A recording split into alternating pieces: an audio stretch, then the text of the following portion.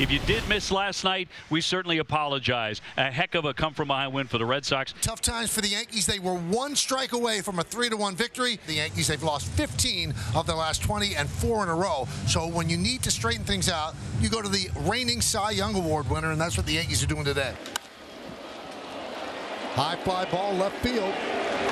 Verdugo will put it away. A 1 2 3 for Gerrit Cole to start this Saturday. Josh Winckowski 1 and 2, a 280 ERA, and really throwing the ball well. They beat the Padres 4 to 1 last time out. And Ben Rice leads off the bottom of the first inning for the Yankees. Ben Rice at 261 in 46 at bats. He's been hot. Drill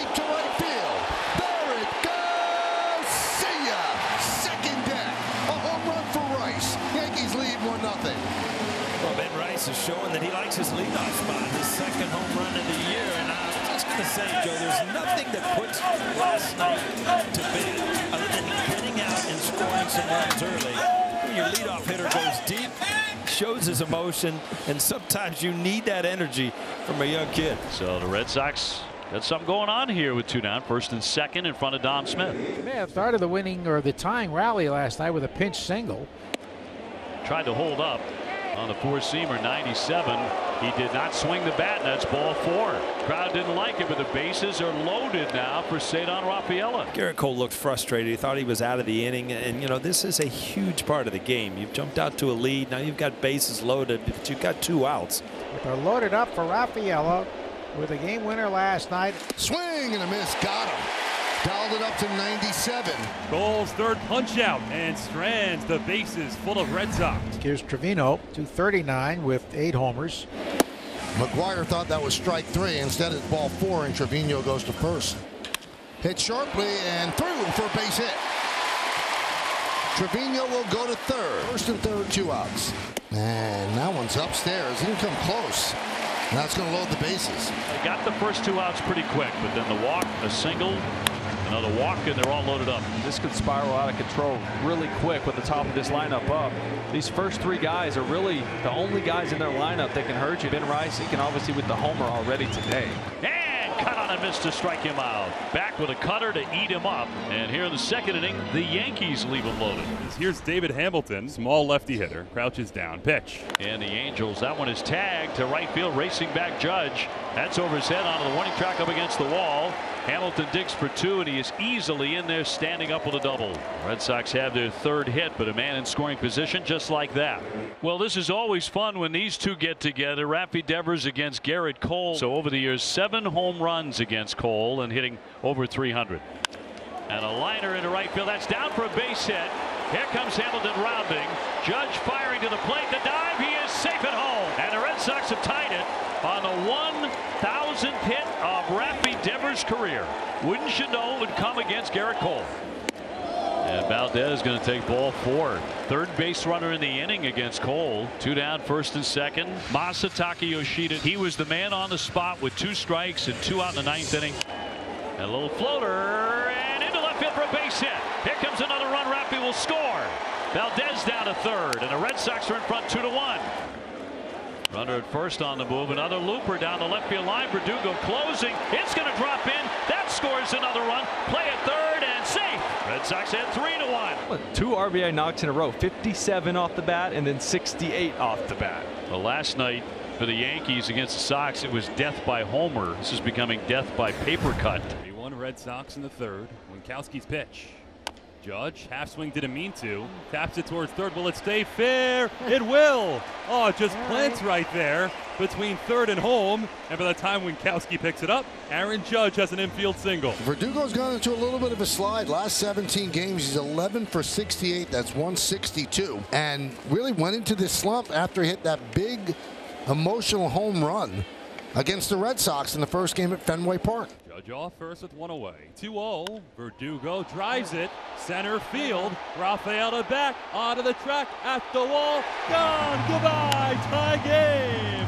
Alex Verdugo meets Monument Park. Well, if he ever gets his home plate, Joe, Yeah, we'll we can talk do the to his replay. 10th home run. This is quite a quite a slow trot hanging out there. Well, there's always a lot of emotion when it's against your old team, that's for sure. Raffy with a big hit to drive in a run in the third inning. You know, Gerrit's numbers as a Yankee against the Red Sox, not, not as good as you would think, but a 5 ERA and 105 starts otherwise not against the Red Sox, 2.91. Swinging a high fly ball. That's well hit to right. And it is gone. Raffy strikes again against Cole for the eighth time in his career, the Red Sox are on top four to three. 441 feet. Tell me the pip job by Verdugo did not bother this dugout. Well, Cole has always had problems with Rafael Devers, and uh, he did not like this demonstration.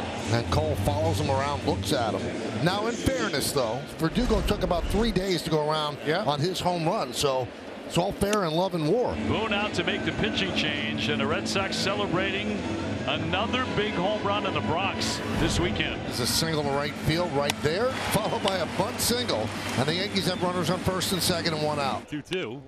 Volpe drives it center field. Rafaela on the run towards left center, gives it a look over his head and bounces over the left center field wall.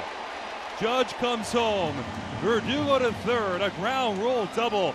Launched off the bat of Anthony Volpe. Ties the game at four. No. I think they're going to intentionally walk him now. Play for two. 3 2. Just missed.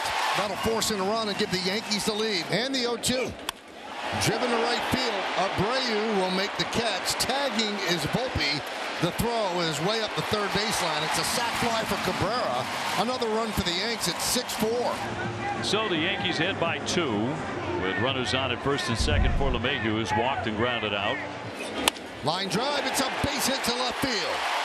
Grisham rounds third. He's coming home. Here's the throw from Duran. Up the first baseline. It's an RBI single for LeMahieu. And the Yankees lead 7 to 4. Boy, they put together a rally we haven't seen in a while. Ben Rice homered back in the first inning. First and second, two out. The pitch.